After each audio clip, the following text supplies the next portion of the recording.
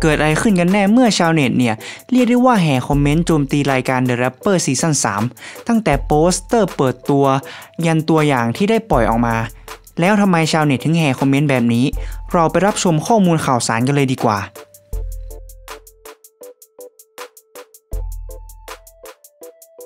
จากผลตอบรับรายการ The Rapper ทั้งซีซั่น1 และซีซั่น2 ก็ออกมาได้ดีมากๆ ในปีนี้เนี่ยจึงมีการจัด The Rapper ซีซั่น3ออกมา แต่ก็เป็นไปด้วยความยากลำบาก เพราะสถานการณ์โควิด -19 ทำให้การจัดรายการต่างๆ เป็นไปได้ยากทั้งต้องตรวจโควิดก่อนเข้ารายการไหนจะต้องมีอุปกรณ์ต่างๆเนี่ยที่จะป้องกัน แต่ก็สามารถจัดรายการได้ คราวนี้ประเด็นมันอยู่ที่ว่า กิดโควิด -19 ขึ้นทำให้คนในสังคม และแรปเปอร์เกือบทุกคน ออกมาโจมตีการทำงานของรัฐบาลในช่วงโควิด -19 ที่ทำได้เรียกได้ว่าล่าช้ามากๆ และส่วนใหญ่ออกมาคอเอากันหมด ขนาดมิลลิยังโดนหมายเรียกที่ออกมา call out เลยคราวนี้ก็มีกระแสวิพากษ์วิจารณ์อย่างหนัก เมื่อ The Rapper ออกโปสเตอร์ เปิดตัวในซีซั่น3 ก็เป็นรูปกรรมการทั้ง 6 คน ซึ่งทุกคนก็น่าจะเคยเห็นหน้าค่าตากันดี เพราะว่าเป็นกรรมการจากซีซั่นที่แล้ว ซึ่งก็เป็นรุ่นใหญ่หลายคนเลยทีเดียว คนเนี่ยก็เรียกได้ว่าแห่กันวิพากษ์วิจารณ์ ในประเด็นที่ว่ารายการบูดบ้าง กะทิบูดบ้าง แต่ละคนระดับหัวกะทิบ้าง โดยมันก็มีคอมเมนต์ที่แรงกว่านี้นะ แต่ผมเนี่ยไม่ขอพูดถึง เราจะมาพูดถึงกันในประเด็นที่ว่าทำไมเขาถึงโจมตีรายการ The Rapper ซีซั่น3 แล้วรายการ The Rapper ซีซั่น3จะได้รับความสนใจมากขึ้นหรือน้อยลง อย่างแรกเลยนะ ที่คนแห่มาคอมเมนต์ว่าบูดบ้างกะทิบ้าง ทุกคนก็น่าจะรู้จักความหมายดี โดยเขาก็คอมเมนต์ในโปสเตอร์ในกรรมการทั้ง 6 คน โดยผมเนี่ยไม่ขอกล่าวหาหรือเจาะจงใครทั้งสิ้น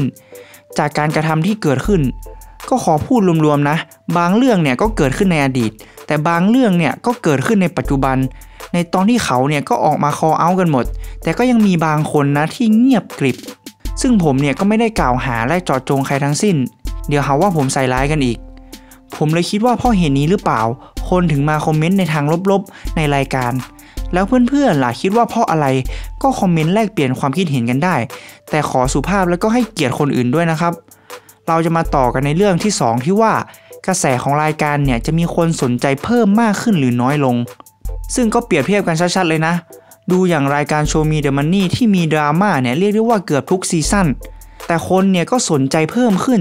แต่คราวนี้รายการ The Rapper ซีซั่น3มันดันมีเรื่องการเมืองเนี่ยมาเกี่ยวข้องด้วย ผมก็เดาไม่ออกนะ